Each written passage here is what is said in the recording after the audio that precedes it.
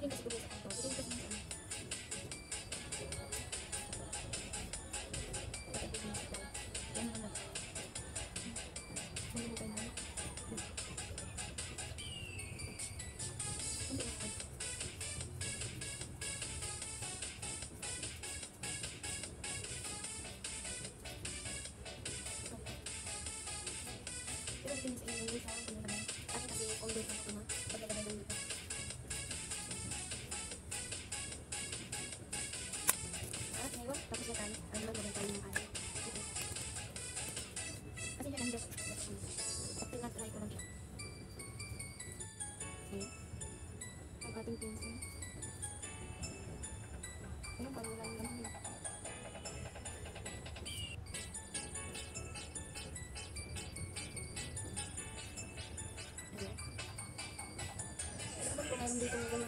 Like, nagpapalit ako.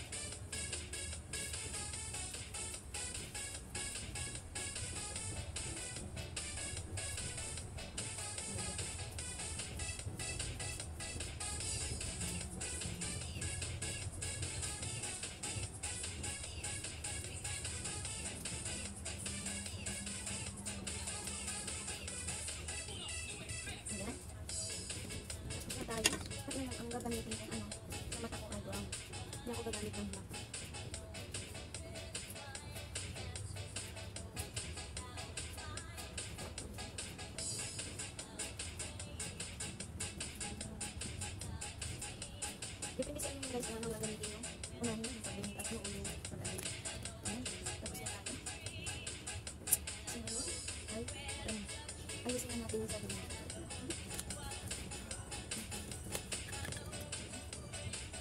natin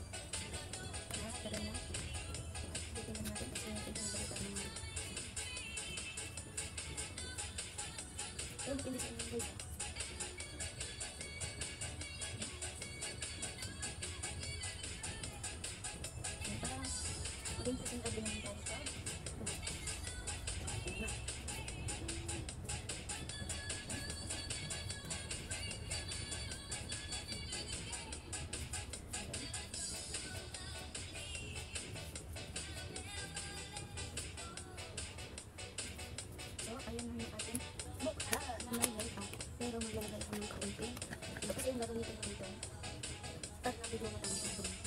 Yung content mo sa i-video tayo.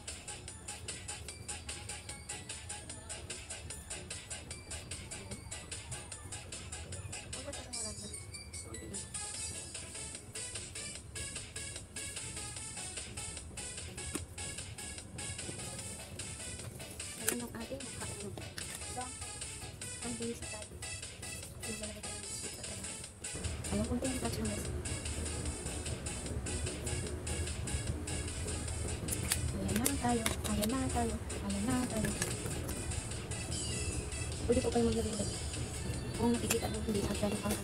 Kung hindi kayo komportable ay lagyan mo Kung nagkalat. Kung gusto nyo tapan ah. Wrinkles nyo ay pwede din. So, ayan. Magbibigay na ako sa kita. Ayan, naglagay tayo ng bibis. Maglalagay tayo ng bibis.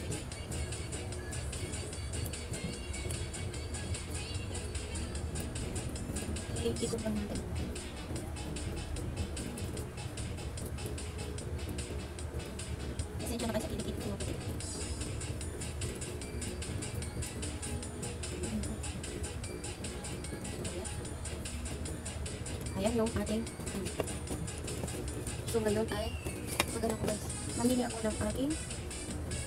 Hikaw. Wait lang, magana ko ng hikaw. At ito ang napili kong hikaw na aking pinihikaw ngayong araw. Tatry natin ito guys. Kailangan tayong ano, maganda sa paningin ng iba. Yan ang ating dapat gawin sa ating mga sarili. Huwag natin pabayaan ang ating sarili.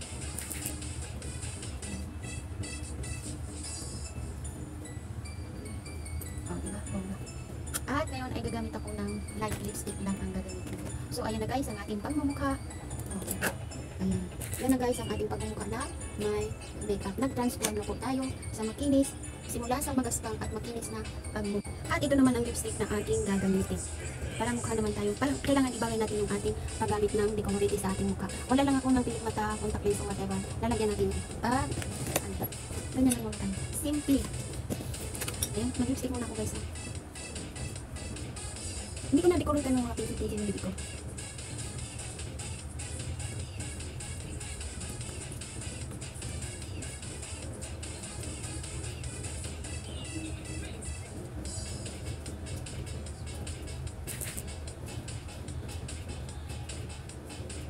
Ayan, simple lang yung ating lipstick. So ngayon, ang aayusin naman natin ay ang ating buhok. So tingnan nyo muna yung aking kasuotan. Tatayo ko guys. Saglit lang, baka mahulog. Gawa ng ating kamera ay kailangan natin ikot-ikutin. At ngayon, ipapakita ko na sa inyo ang aking damit. Ito ang aking damit. Ganda siya guys. Oh, diba po?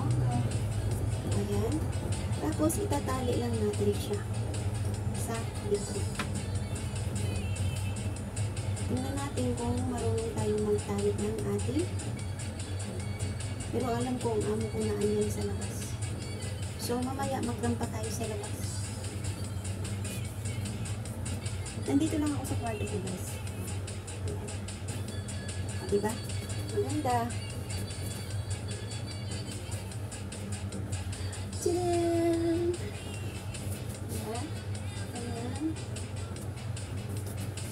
Ayan. Ayan yung ating, ano, at saka ngayon ay aayusin natin yung ating hair. Bukok na naman, guys, ang aayusin natin. So, ayan na nga, guys. Ayusin natin ang ating buhok. Simple lang din yung buhok natin. Ang buhok natin ay pa ano na natin, tapos lagyan natin siya ng spray. Tama ba ang pagtunog ko? Spray. Hindi ko na siya blinower kasi gusto ko yung ano, gusto ko yung medyo basa-basa pa. Chara. Masarap daw pag basa. Mm. Ginern. Oh, mga green-minded dyan, no? Ayan. Napakaganda natin guys, Chara. Ayan, ay, may nag-makeover na kasi tayo, kaya maganda na tayo sa paningin ng iba. Pero pasensya na kayo sa kilik-kilik kung maputi. Alam niyo na yun.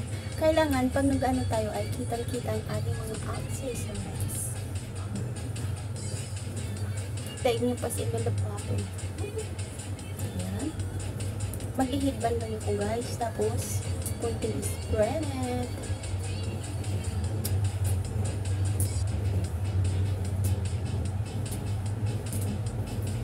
Lagyan ko lang siya ng spray guys. Oh, simple lang. Nag, ano na.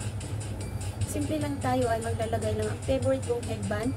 Tapos ay maglalagay ako ng spray net sa aking mga sa aking ulo mga sa aking ulo. Ginoo.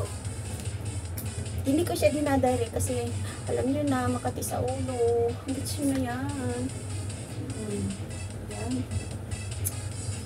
Ayan, napakaganda natin pag Ayan, tapos na tayong mag-decolorate.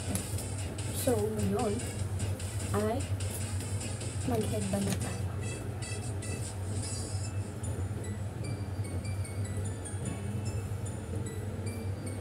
Na kayo guys kung anong style nyo. Basta ako ganun lang. Simple lang ang gusto kong style sa akin. Mukha. Ayan. Pwede nyo ganyanin. Pwede nyo ganyanin. Basta ayusin nyo ang paglagay nyo ng ano, makeup. At saka yung colorating. Pwede nyo ganyanin. Ayan na guys, maraming maraming salamat sa pagpanood at pag-like, pag-subscribe ng ating YouTube channel. At ito na ang transformation natin. Pak na pak. Gandang-ganda lang si Agnes. Oh, ano, saan ko? Oh. Ayan na tayo guys. Napakaganda na natin. See you sa the, see you sa next vlog ko po. Maraming salamat. Bye. Sarange. Oh. Ayan. Ganito lang tayo kaganda guys kapag nag-makeover. Ayan na ang ating kahit na hindi pantay yung ating kilay ay masasabi ko pa rin na bangga. Bangga. Ayan. Itindigan yan guys kung paano nyo dalahin ang sarili nyo. Basta ako, ganyan ako pag nag-makeover. Mm. Mm. Sino dyan ang gusto makipag-date sa akin, Char? Sarah Thank you. Bye-bye.